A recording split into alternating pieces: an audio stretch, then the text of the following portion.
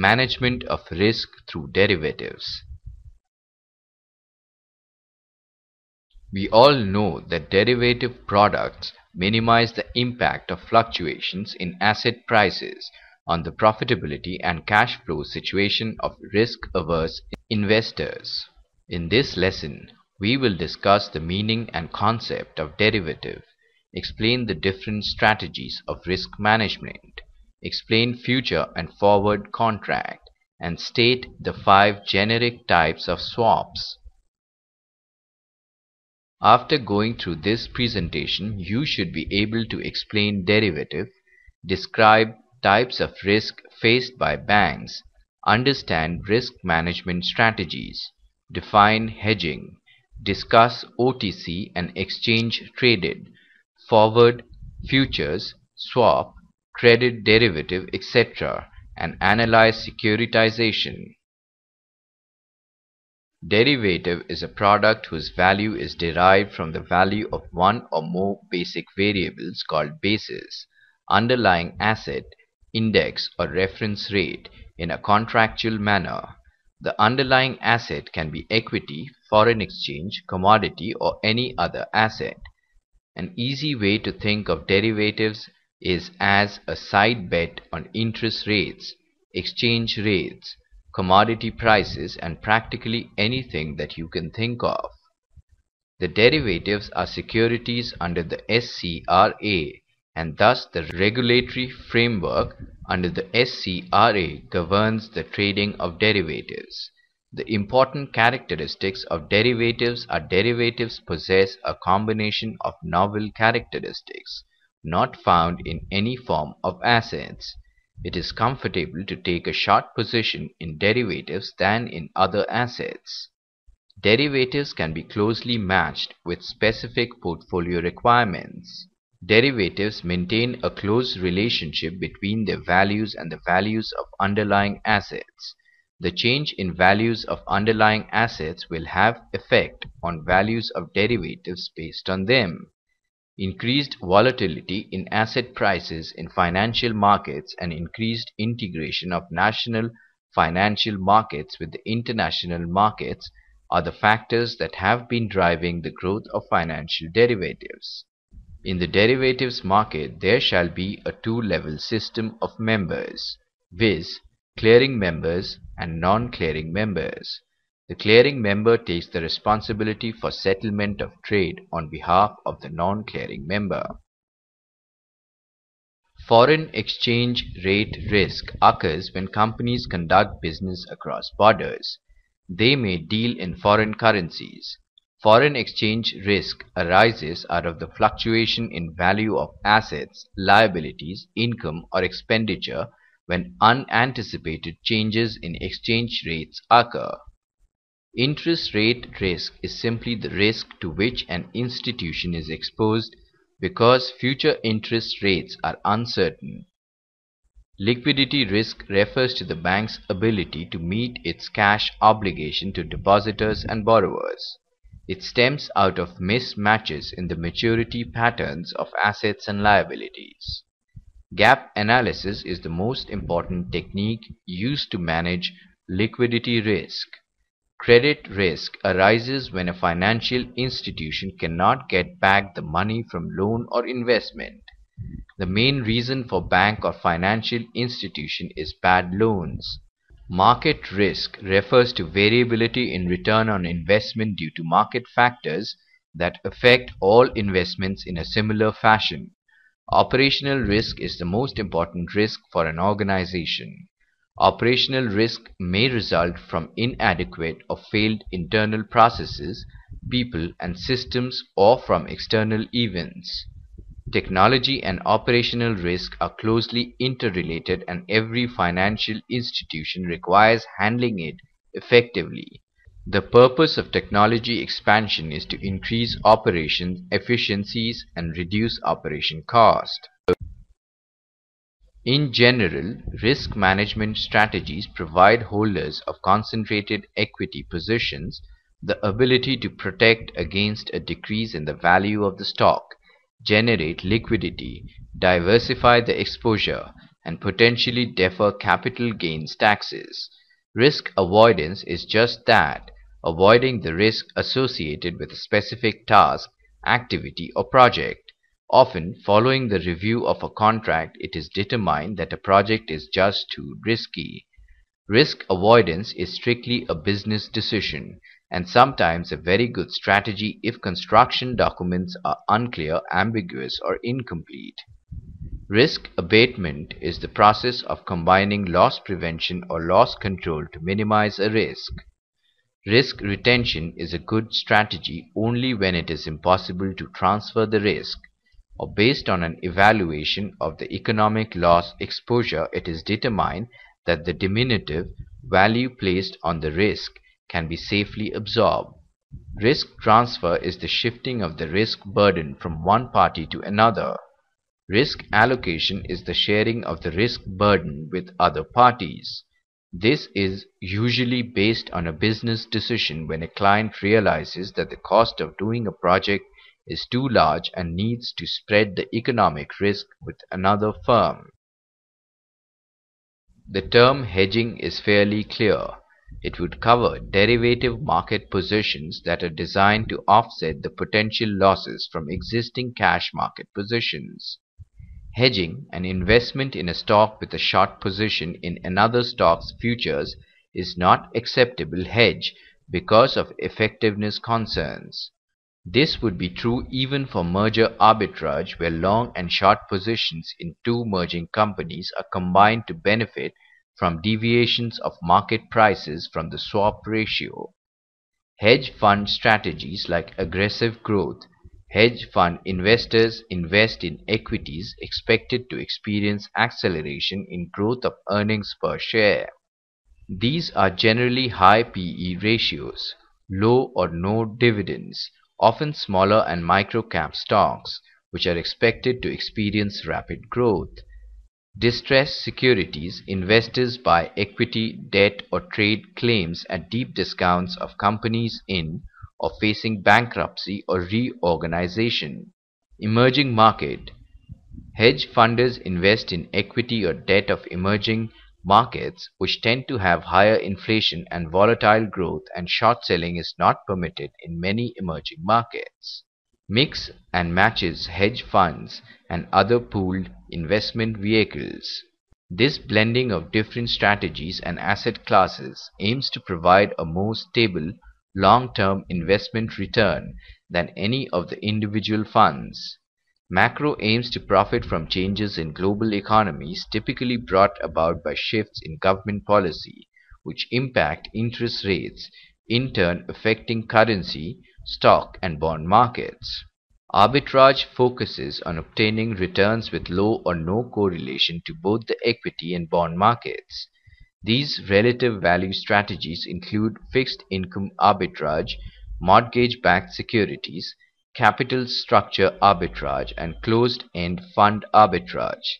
Investment approach is diversified by employing various strategies simultaneously to realize short and long-term gains.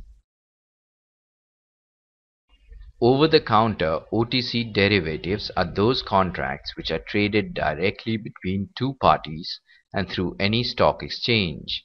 Products such as swaps, Forward rate agreements and exotic options are almost always traded in this way. The OTC derivative market is the largest market for derivatives and is largely unregulated with respect to disclosure of information between the parties, since the OTC market is made up of banks and other highly sophisticated parties such as hedge funds. Exchange-traded derivative contracts are those derivative instruments that are traded via specialized derivative exchanges or other exchanges.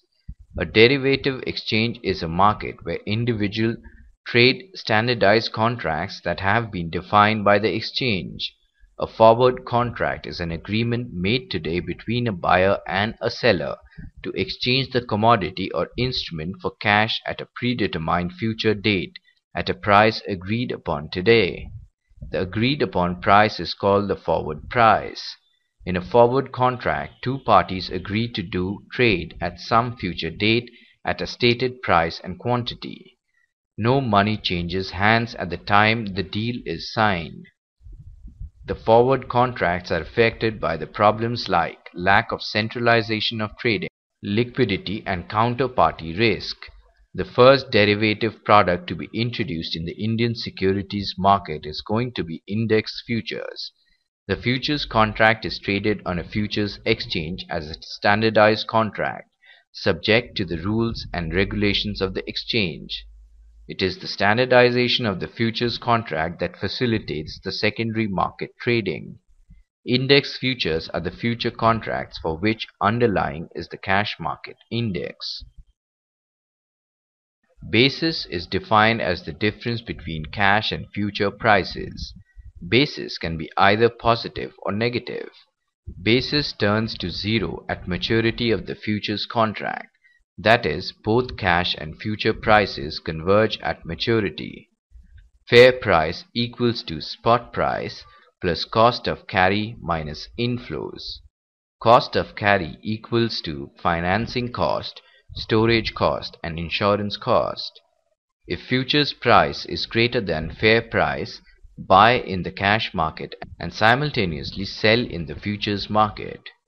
If futures price is less than fair price, sell in the cash market and simultaneously buy in the futures market. This arbitrage between cash and futures market will remain till prices in the cash and futures market get aligned. Commodity futures where the underlying is a commodity of physical assets such as wheat, cotton, butter, eggs, etc. Financial futures where the underlying is a financial asset such as foreign exchange, interest rate, shares, treasury bills or stock index. The buyer of futures contract has an obligation to purchase the underlying instrument at a price when the spot price is above the contract price. The seller of the contract makes a profit when the contract price is above the spot price. An option is a contractual agreement that gives the option buyer the right but not the obligation to purchase or to sell a specified instrument at a specified price at any time of the option buyer's choosing by or before a fixed date in the future. Upon exercise of the right by the option holder, an option seller is obliged to deliver the specified instrument at the specified price. The key difference between futures and options is that the former involves obligations, whereas the latter confer rights. Futures are a contractual obligation to buy and sell at an agreed price at a future date. The contract terms are standardized by future exchanges and the obligation from both buyer and seller is confirmed when the initial margin or deposit changes hands. An option does not carry the same obligations. Options are classified into two broad categories, call option and put option. A call option gives the holder the right to buy an underlying asset by a certain date for a certain price. The seller is under an obligation to fulfill the contract and is paid a price of this, which is called the call option premium or call option price. A put option, on the other hand, gives the holder the right to sell an underlying asset a certain date for a certain price. The buyer is under an obligation to fulfill the contract and is paid a price for this, which is called the put option premium or put option price. Exotic options are often mistaken to be another kind of option. They are nothing but non-standard derivatives and are not a third type of option. If the premium is more than what is initially cost plus the commission, there is a profit. If the premium is less, there is a loss, but keeping some money is better than losing all the money. The broker must be notified before options expire. Not all options have an automatic exercise provision. Therefore, an in-the-money option that expires without any action taken loses the buyer money. A seller somewhere will be happy. When a trader sells an option, he or she can exit the trade by buying the option back. If the premium is higher, the option seller has lost money. The option seller cannot exercise his or her option. A credit derivative is a financial instrument used to mitigate or to assume specific forms of credit risk by hedgers and speculators. Though the credit derivative has been invented to hedge the risk of banks, it has also become popular in insurance companies, asset management companies, mutual funds, hedge funds, pension funds, corporate treasurers, etc. Credit derivatives allow users to isolate price and trade firm-specific credit risk by unbundling a debt instrument or a basket of instruments into its component parts and transferring each risk to those best suited or most interested in managing it. The credit-linked notes market is one of the fastest growing areas in credit derivative sector.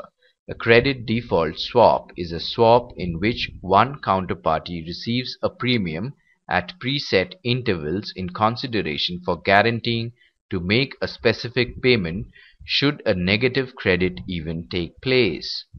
A variation on the credit option is a credit spread option. Buying or selling an option on a borrower's credit spread provides an opportunity to gain exposure on the borrower's future credit risk. Credit spread options are normally associated with bonds, which are priced and traded at a spread over a benchmark instrument of comparable maturity.